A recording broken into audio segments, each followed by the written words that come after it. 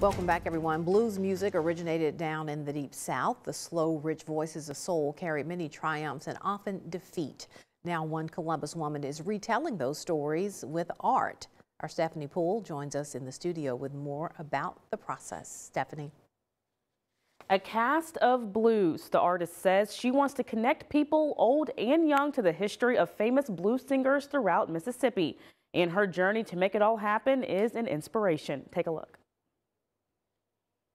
All artists have their own perspective. For Sharon McConnell Dickerson, it's all about connecting to what you're creating.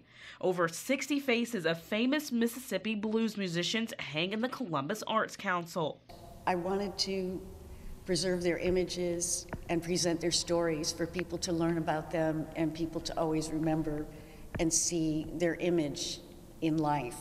A cast of blues capturing the tiniest details and showing history behind the mask. Bobby Blue Bland, R.L. Burnside, Pinetop Perkins, uh, James Cotton, lots of big names. It involves um, using a specialized molding material, which is alginate or a skin-safe silicone, and layers of other materials uh, applied directly onto the skin of the subject covering the entire face. Sharing her work with an audience is a unique experience. Dickerson is a self taught blind artist. She encourages others to feel her artwork. I want them to feel what I felt while I was creating them. The project took nearly 20 years to complete, starting in the early 2000s.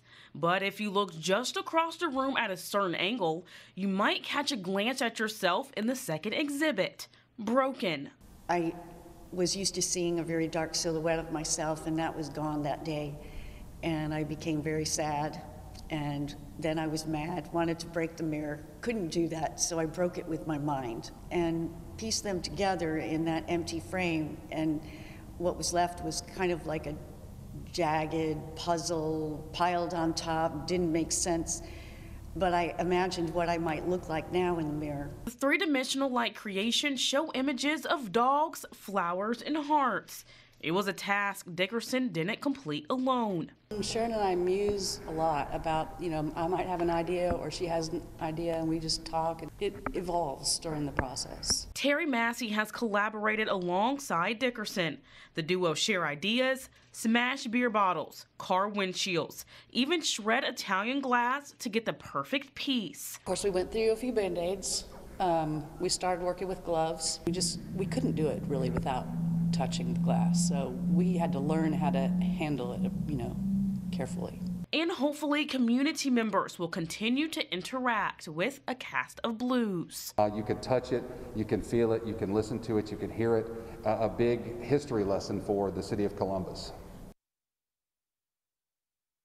And a cast of blues exhibit will be open tomorrow at the Columbus Arts Council. Also, Terry Massey says her project Save Our Shelter is currently ongoing. You can contact her on her Facebook page for more information.